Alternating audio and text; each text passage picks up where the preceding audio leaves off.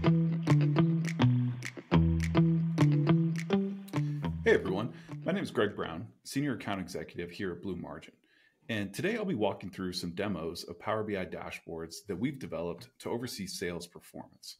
Now, overall, my focus here today won't necessarily be on all the features and functionality of the dashboards, but instead, what these dashboards enabled our client to do with their data and how they help this client take action to improve results. And that's really because a core tenet of our design philosophy is to make dashboards as actionable as possible.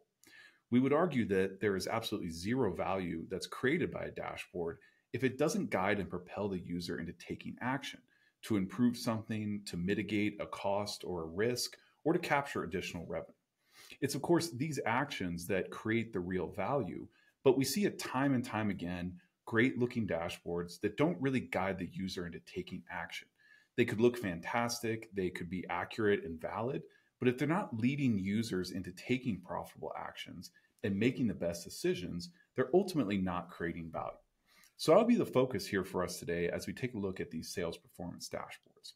And we'll look at two pages here in the demo today, starting with the sales overview dashboard here.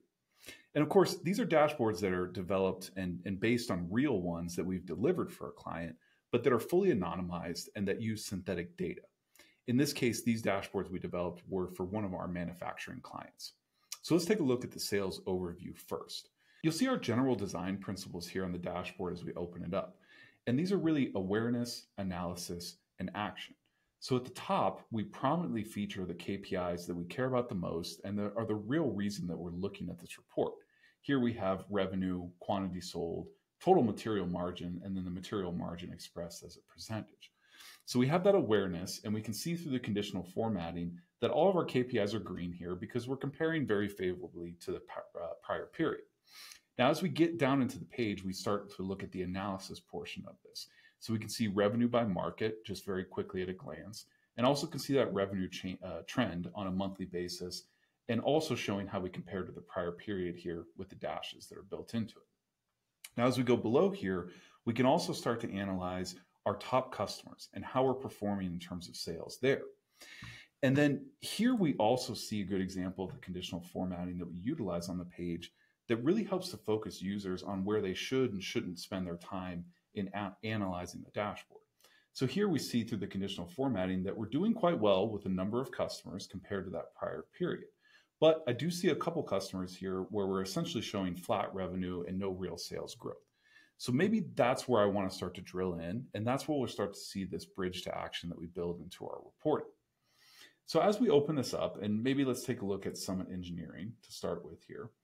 I can then get down into the product or item level here.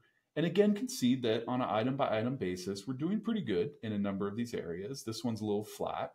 Um, now here I've also detected some areas uh, as products where we're not comparing very favorably and revenue and sales is down.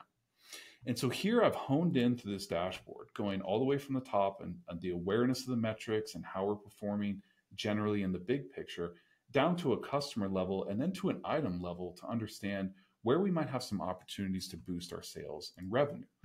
And then this can turn into the action potentially of a certain sales rep talking to that customer and really trying to analyze with them wh- where where are we not meeting the mark here in terms of this product um, is there a, a, better new competing product on the market? Is our product really just not meeting the standards of the certain use cases that the customer has?